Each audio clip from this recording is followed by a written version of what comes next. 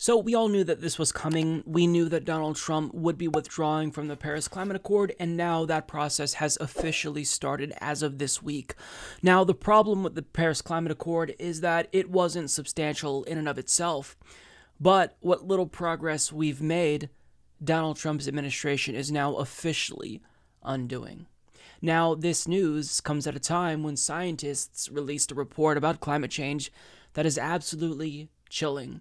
So, as Kyla Mandel of HuffPost reports, more than 11,000 scientists from 153 countries have declared a climate emergency, warning in a new report that untold human suffering is unavoidable without drastic action. The climate crisis reaches an emergency level, according to the study, when business as usual, the current action being taken or not by society, corporations, and governments, is not enough to match the scale of what's needed to address the situation.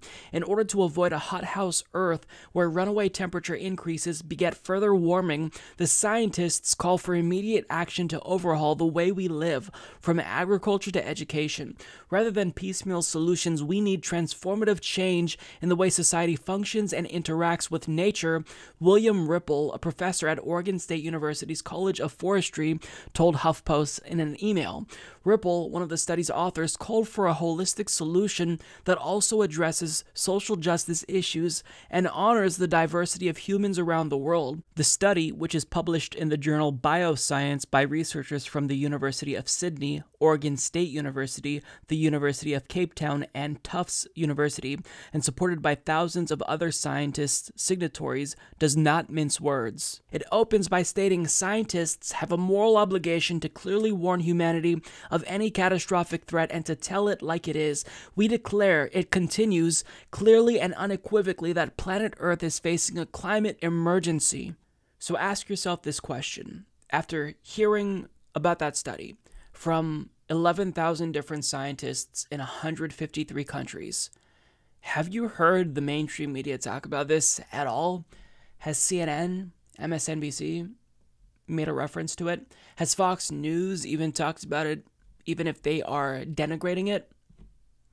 I mean, this is chilling. You have 11,000 scientists saying if we don't take drastic action, we will witness untold human suffering, and there's crickets. I mean, I, I just, I don't know what to say about that.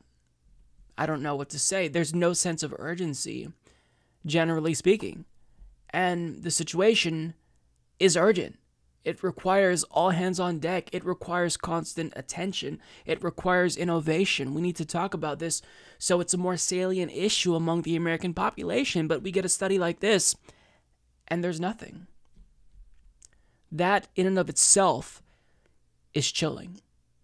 Just, you know, disaggregating the details of the report, just the reaction or lack thereof is a problem.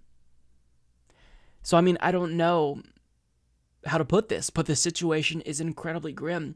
Now, what these scientists are explicitly calling for is adaptation and mitigation. We need to tackle both of these things simultaneously because we need to not just stop the temperature from increasing, but we need to acknowledge that climate change is a reality.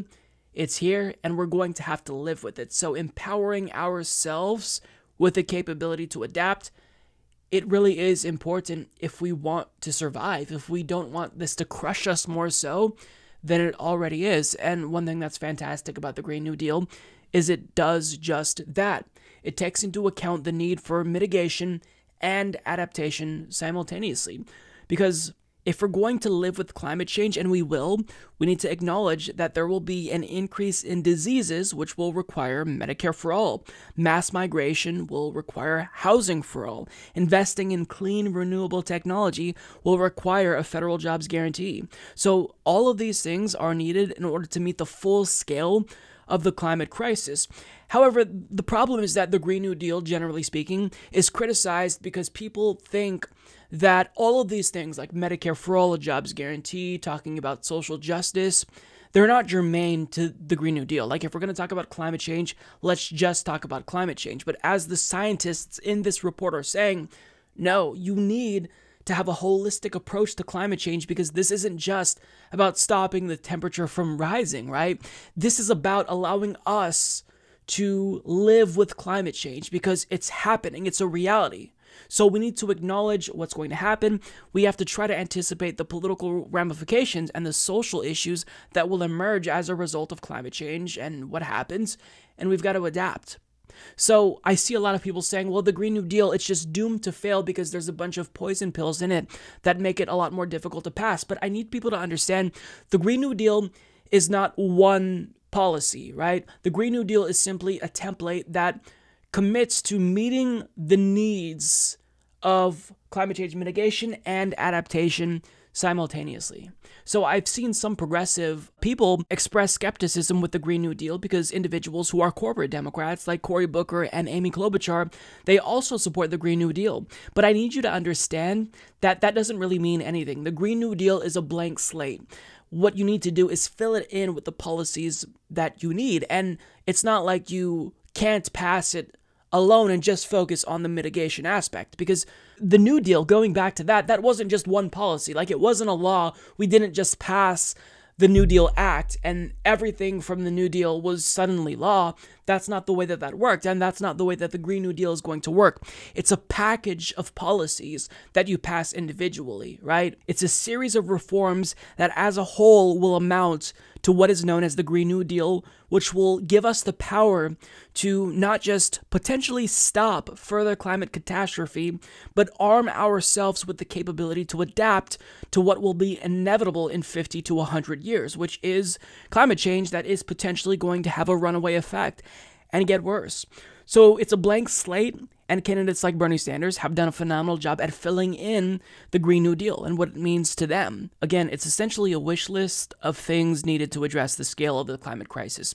That's it. So if you know, Amy Klobuchar comes out and endorses the Green New Deal, that doesn't necessarily mean that it's a centrist policy. It just means that she acknowledges that essentially it's a shell right now of reforms. And we are simply acknowledging that this resolution, which the Green New Deal is a resolution, it's not a bill, it's saying let's all agree at a minimum that we need to implement reforms that meet the scale of the climate crisis, right? You can commit to that, but it doesn't mean much right now. What really matters are the policies.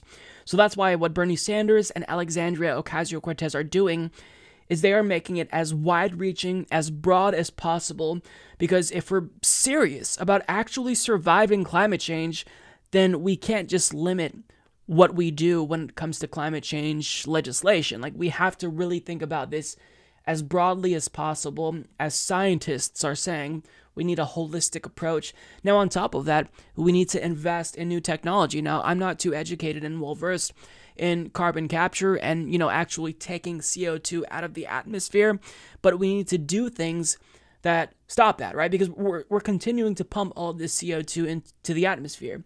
That's an issue. So we need to do what we can to make sure we try to remove CO2 as much as we possibly can. You know, the one thing that comes to mind is planting a shit ton of trees. And thankfully, there's YouTubers currently who are trying to plant 20 million trees. I don't know how feasible that is, but that is something that is important. Now, the problem with that is trees eventually die and then they release the CO2 that, eh, you know, they're holding in. So that's another story for another day. But what matters is that we take action that is absolutely one, drastic, and two, comprehensive, and three, holistic.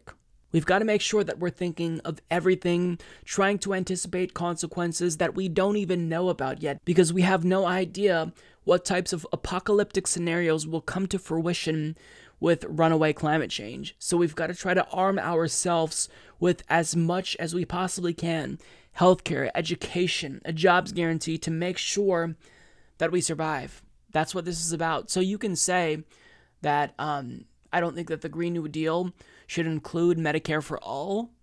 That's fine. You can say that I don't believe the Green New Deal should have any reference to social justice at all, even though communities of color will be impacted the most.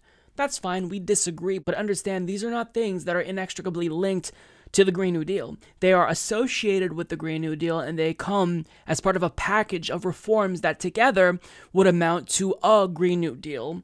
But we need to make sure that we get the details of this right. The Green New Deal is a resolution, and what matters is the policy that is going into the Green New Deal.